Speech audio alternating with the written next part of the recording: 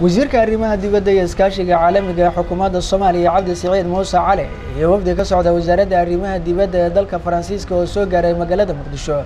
ayaa kulan ka yeeshay sidii sare loogu qaadi lahaa iskaashiga guud ee ka dhexeeyay labada jamhuuriyadood iyadoo si gaara diiradda loo saaray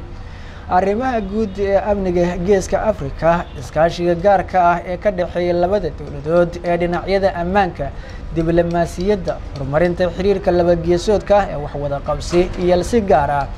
la dagaalanka kooxaha argagixisada ah ee khatarta ku haya amniga guud ee gobolka.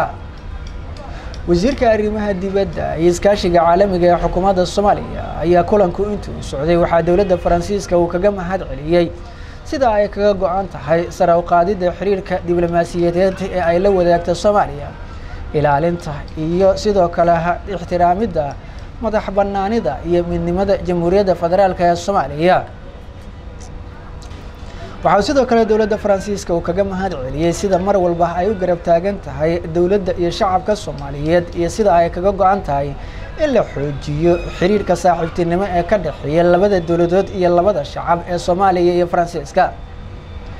Agaasimaha wasaaradda arrimaha dibadda ee jamhuuriyadda faransiiska u qaabilsan arrimaha africa christopher bigot ayaa dhankiisa waxa uu sheegay in ay dowladda faransiiska ka go-an tahay inay sare u qaado iskaashiga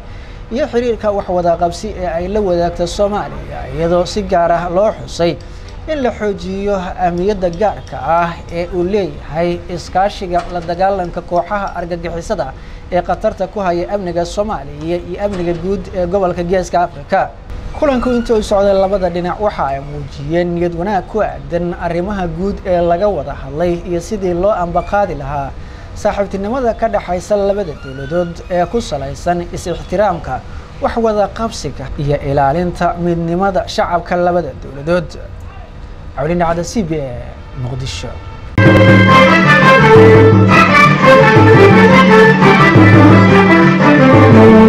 hadal oo hadal oo hadal oo ku hadal bishii oo dhan toddoba dollar oo keliya ku darso fariin kasta oo aad dirtaana waa kuu bilaash haddaba si aad ugu shubato adeega kaafiye fadlan garaac xidig siddeed eber siddeed afargees ama xidig laba eber laba afargees isticmaal shabakadda ugu ballaadhan geyga somalilan